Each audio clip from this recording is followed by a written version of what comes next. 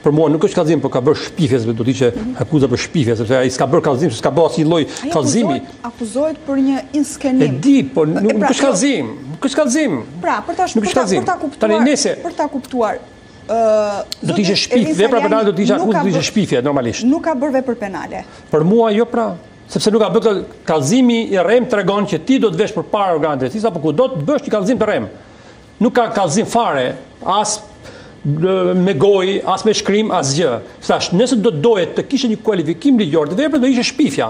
Po, zotëri ti ke shpifur. Ë, nëpërmjet njëri personi, tjetër, tjetër, tjetër. Por, vazhdojmë këtu.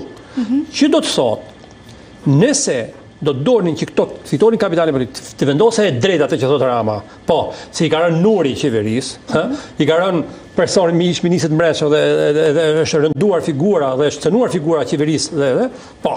Okej.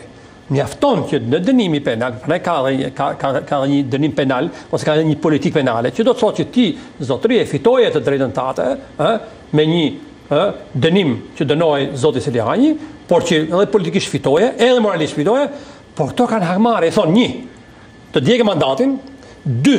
S'do kandidosh më për 2025-ën, 3.